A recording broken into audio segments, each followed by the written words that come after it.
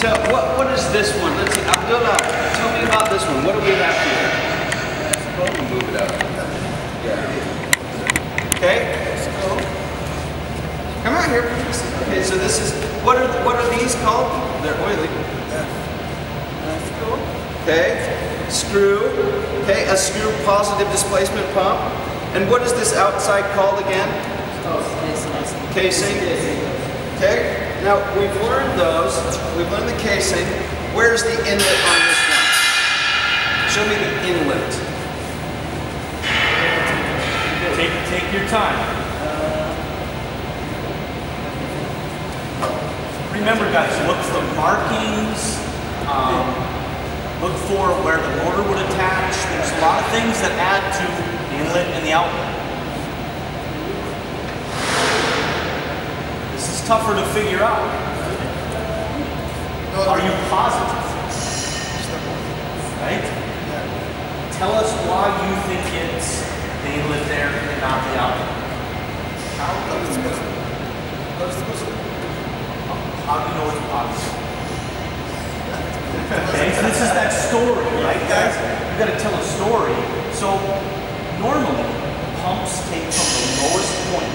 Okay, so on this pump, right, this is the lowest point. So you've got a, a large mouth. We like to eat, right?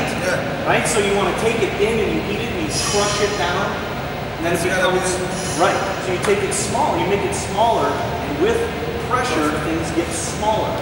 So outlet is usually the smaller one because we want to make more go into the mouth, smaller stuff come out the other end, right? See? See, it makes sense. Well, there's So- an analogy. It goes in the big part. yeah, those out are the small part. So the driver, which is the motor, turns this. So we've got a screw pump. How many? Right. So it's a it's a dual load two, like right, right. It can be three.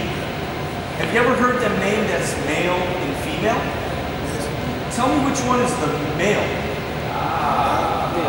Which one? Which one is male? Which one's female? That's which one is the male? You touch it. That one. How, why? How do you know? Okay, it might be bigger, right? This is male, female. It's going, the, the big one, yes, is going into the smaller one. But yes, he has it right. It's the male, is that one. Okay. Okay. s- The screw positive displacement but You guys all repeat that because that's that's a mouthful. Screw positive displacement pump. And hear you.